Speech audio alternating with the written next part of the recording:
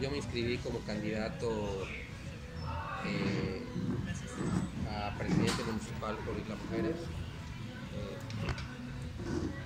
se criticó mucho porque por ahí hay un comentario y quiero especificarlo, que también la maestra Cristina, que es mi esposa, se inscribió para síndica municipal.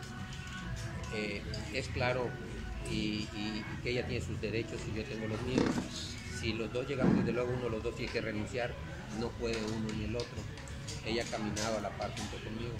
Pero también la estrategia en esto era de que si, si por alguna razón hacían una mala jugada y llegaba el, el- el- el ex diputado, pues que haya de alguna manera una morena que esté pendiente de las, de las cuentas. Esa, esa era la idea, no lo hicimos con otra, con otra intención.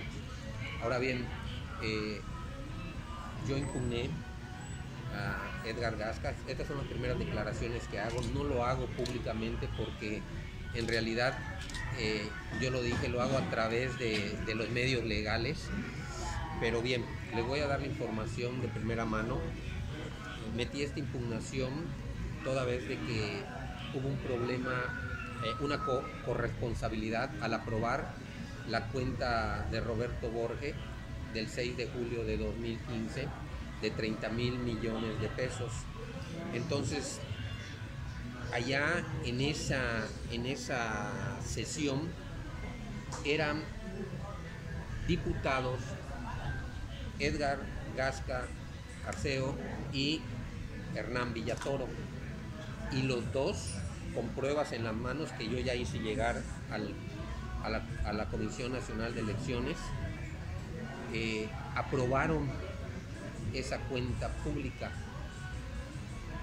Ellos tienen una responsabilidad al aprobar esa cuenta pública, tienen que estudiarla y ver si no dañaron eh, los intereses del pueblo de Quintana Roo.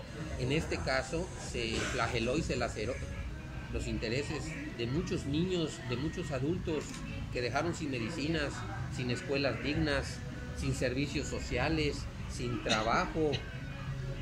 Entonces, ¿cómo puede ser posible?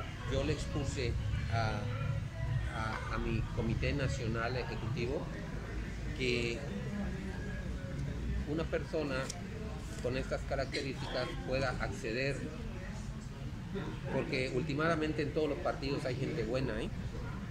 no porque signifique de un solo partido quiere decir lo etiquetemos de malo, en todos los partidos hay gente buena, pero ¿cómo puede ser posible que le den acceso a alguien que flageló completamente los derechos humanos de los ciudadanos quintanarroenses con sus conductas?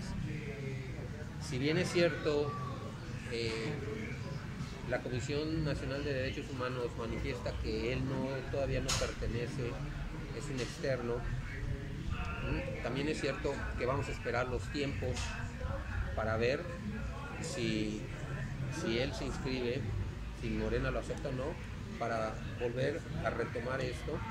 Y en lo que a mí respecta, yo lo dije hace un momento, si esto a mí me cuesta la candidatura, que me cueste, pero yo voy a hacer las denuncias legales correspondientes de las personas que hoy